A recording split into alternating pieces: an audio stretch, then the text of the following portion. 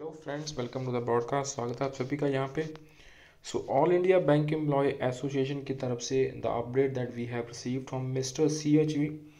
उनकी तरफ़ से बड़ा इंपॉर्टेंट आदेश जारी हुआ in the all India bank employ association का, जो इनका व्हाट्सएप का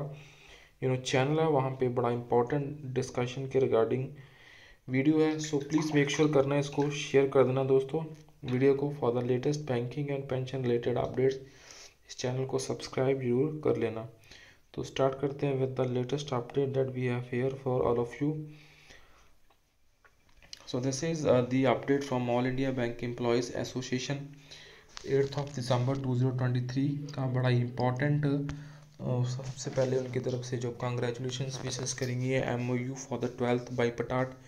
settlement signed so all our unions and members are aware that since जो इलेवन था, वो ड्यू था एंड सो फाइनली जो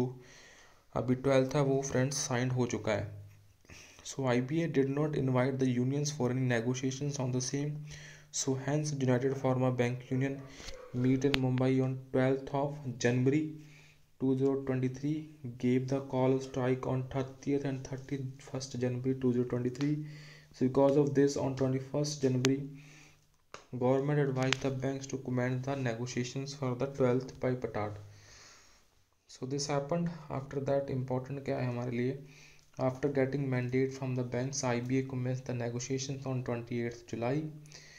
उसके बाद आपको पता होगा we are happy that after hectic and protracted negotiations understandings were reached and the MOU was signed late night so we furnished here in the text of United Form of Bank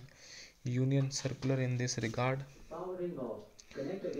So further to the last round of discussion held with IBA's negotiating committee on 9-11-2023 one more round of bipartite was held uh, with the main negotiating committee yesterday 7th of दिसंबर 2023 उसके बाद rest आपको पता ही है क्या happenings हुई हैं seven percent 17% sorry with 3% of load factor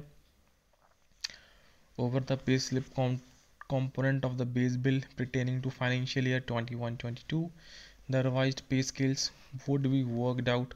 by merger of dearness allowance up to 8088 points of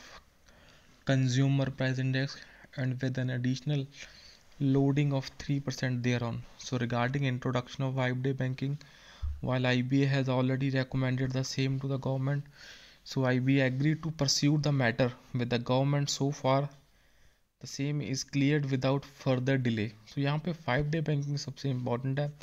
all other issues would be discussed further and final settlement would be arrived at within the next six months. So अब six months के uh, you know between अभी settlement sign हो जाएगी